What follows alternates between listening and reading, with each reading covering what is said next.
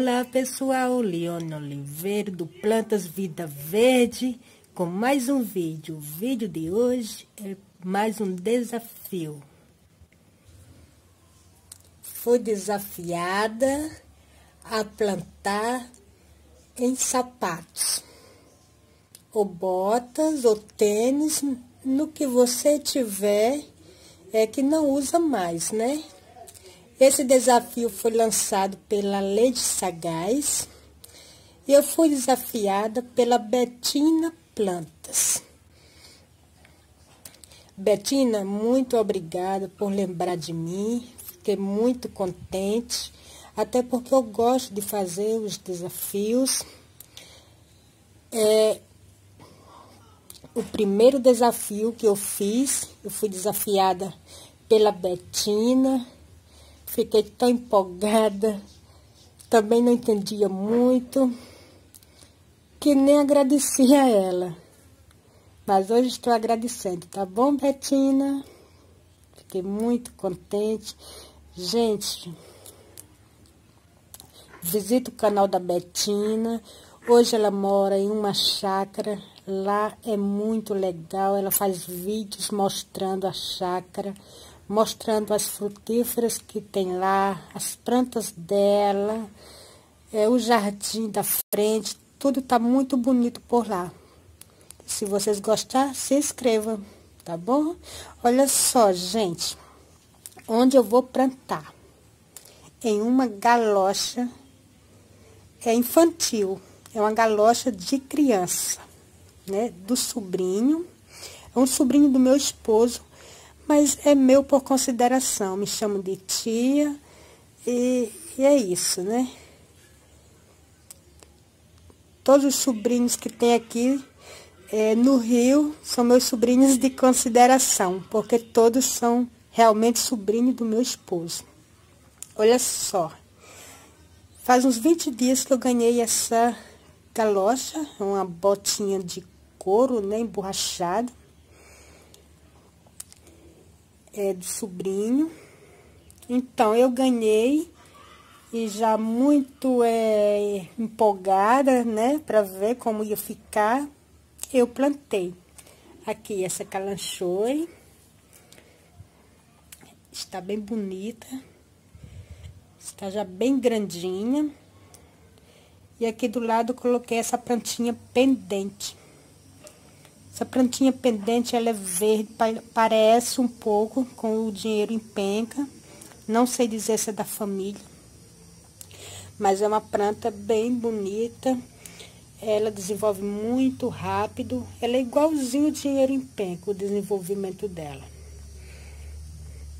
Então, plantei em uma para ver o resultado e guardei a outra para plantar quando tivesse um tempo, né? Fui deixando para depois. Então, é, por coincidência, veio esse desafio e deu muito certo, porque fui desafiada e agora tem uma bota para montar um arranjo, né? Olha só. Essa bota é do Ben 10, né? Daquele personagem Ben 10.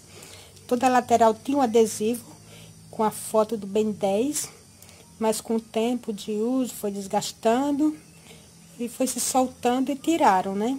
E ela ficou assim, toda pretinha. Já fiz o furo embaixo, dois furos. E o material emborrachado. Então, só resta agora essa bota para me implantar, tá bom, gente? Olha só, aqui está meu substrato, um substrato bem preparado. Tem cavão, humus de minhoca, careta, terra preta tem serragem, que já vem substrato que eu compro. Está bem legal. Também vou colocar pedrinhas, né? Primeiramente, vou colocar algumas pedrinhas, brita. Quem tiver argila expandida também pode ser. Vou colocar brita porque eu tenho brita, tá bom? E logo voltarei para mostrar o resultado, como Olha só, pessoal, já enchi a botinha de substrato, já coloquei aqui essa muda é dessa calanchoi, sexangulares, e Gente, eu decapitei a minha calanchoe do meu mini jardim, porque ela estava crescendo muito, estava pendendo para um lado. E ela estava com aparência muito feia.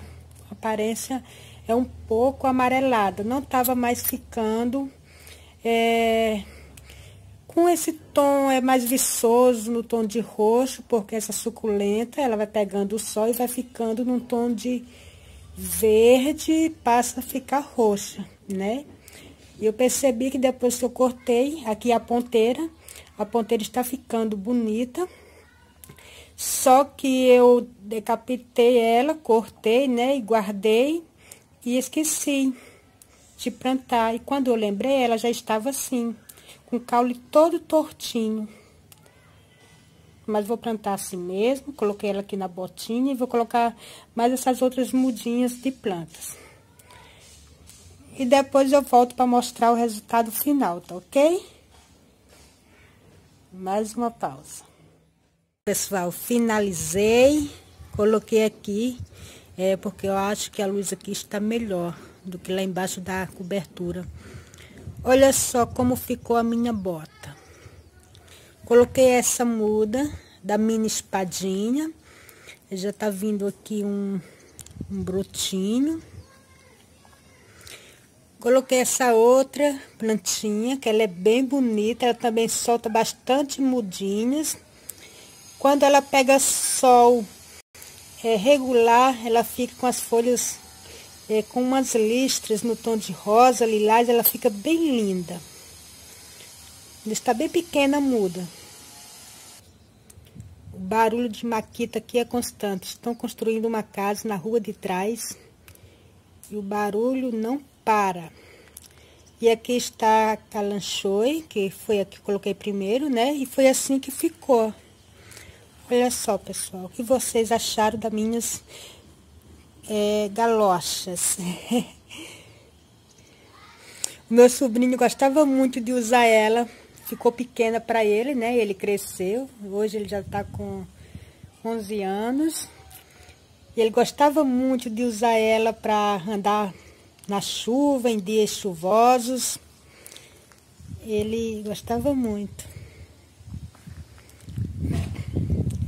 Gente, eu gostaria muito de colocar ela no chão, né? Deixar ela no cantinho no chão, mas não vai dar.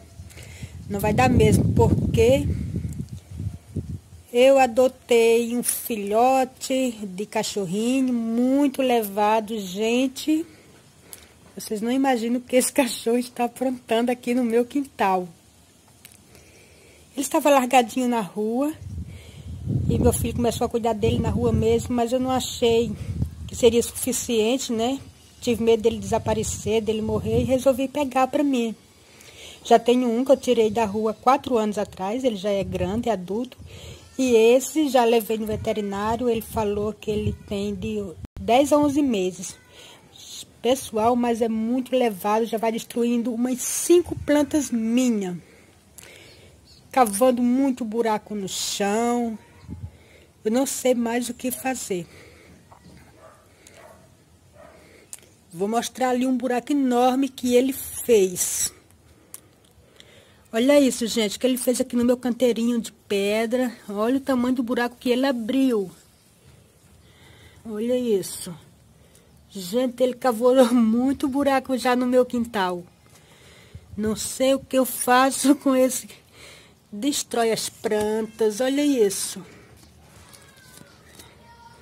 Estou ficando com medo dele. Coloquei o nome dele de Bambi, porque gosto muito daquele personagem do filme, que é um desenho de um animalzinho que fica sozinho na floresta. Eu gosto muito daquele filme. Acho uma historinha muito linda, então eu batizei meu cachorrinho com o nome de Bambi. Voltando aqui, ele está ali deitadinho, dormindo. Eu vou deixar a foto é, dele no final, gente, para vocês verem como é lindinho ele. Mas muito levado. Sim, não posso parar com o desafio, né? Vamos continuar com a brincadeira.